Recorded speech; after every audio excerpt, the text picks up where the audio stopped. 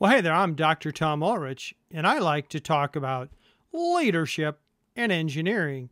But I'm here today with my two friends, and we'd like to take a moment to talk also about Scrum. Now, I imagine it's intuitively obvious that if you're looking for experts and you really want to know who knows about Scrum, it's these two guys. Uh, if you don't mind, say hello to Nike and say hello to Cohn. And uh, they're the, they're the world's experts on Scrum.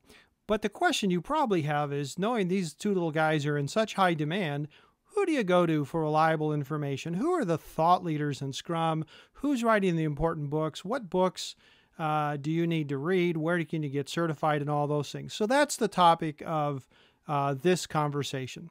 So let's start off with the thought leaders. So apart from my little uh, puppet friends, um, the, the uh, creators of Scrum are two gentlemen, one named Ken Schwaber and the other named Jeff Sutherland.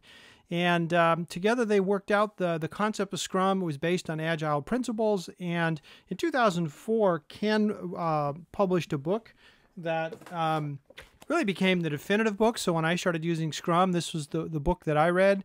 And uh, importantly, there was uh, an enormous change in the world of leadership research right about that time period where the so called modern uh, leadership paradigms kind of emerged. And it had these ideas of, you know, switching from sort of forcing people to do stuff to helping them people uh, want to do stuff, and it was all correlated with you get much much higher performance. And Scrum was kind of born right at that time, so it, it fits nicely with sort of inherently with all the modern leadership paradigms. Any rate, so uh, Ken's book uh, easy to read, Microsoft Press, fairly small book, but it really became the definitive source. And then uh, in uh, 2013, uh, no, excuse me, 2009, Ken actually wrote a uh, sort of a 12 page handout that's widely distributed in the internet. Um, he and some others created what's called now called the Scrum Alliance. So, when the question of who does the certification, it's called Scrum Alliance. And um, any rate, he wrote a sort of definitive position paper on um, uh, what is Scrum, about 12 pages long. It's not copyrighted, so I've got a link to it down below. You just click on it, very worth reading.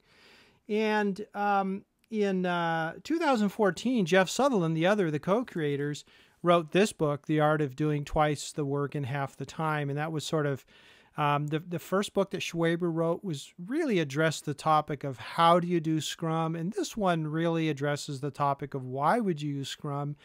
And when Schwaber wrote his book, he was thinking Scrum is a software technique for software engineers.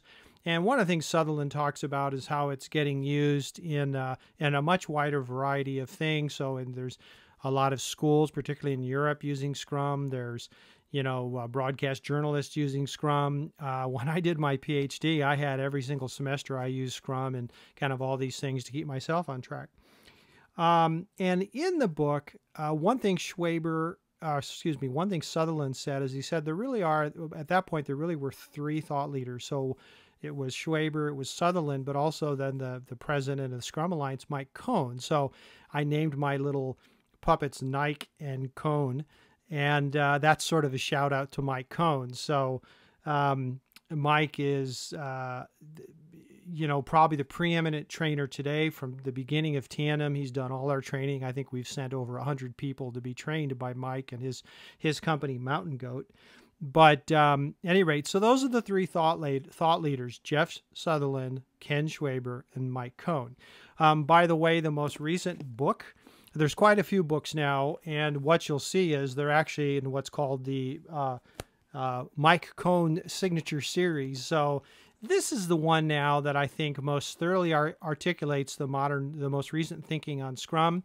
And one thing that's uh, really hard to miss is, you know, when you compare these two books, uh, uh, Ken's was uh, about half as thick as, as Ken Ken Schwaber's was half as thick as Ken Rubin's and it's not like Ken Rubin's using bigger font or something. I mean, this the the theory of Scrum has been fleshed out to so much uh, of a greater degree that now it's um, you know it takes a lot more to describe. And uh, any rate, so what I've done here, I just I just wanted to cover that. Who are the thought leaders today in the world of Scrum? Uh, the three books and the handout I talked about, I've got links down below. And uh, you may be wondering, why am I doing uh, uh, this training? You know, am I selling something? And the answer is no. You know, if you want to get trained in Scrum, you need to go to Mountain Goat and Mike Cohn. He's the preeminent trainer today. Um, you know, my emphasis is really on leadership. And usually, when I do talks on leadership, I usually make a point that I talk about leadership and not management. And I usually do have a slide on management. And it only says two words use Scrum. So that's the management technique that I think is most compatible with uh, the modern leadership paradigms. I think uh, if you're not using it, you're missing out.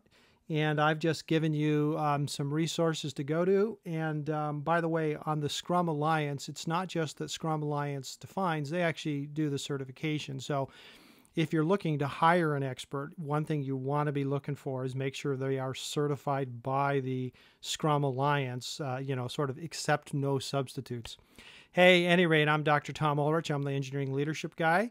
Uh, if you don't mind, subscribe, give me a comment, give me a like. That'd be wonderful. You can find more videos at uh, my website, tomulrichconsulting.com. And then on YouTube, you can simply search for Dr. Tom Ulrich and you'll find a whole bunch of my videos. At any rate, uh, that's all for now. Thanks for listening.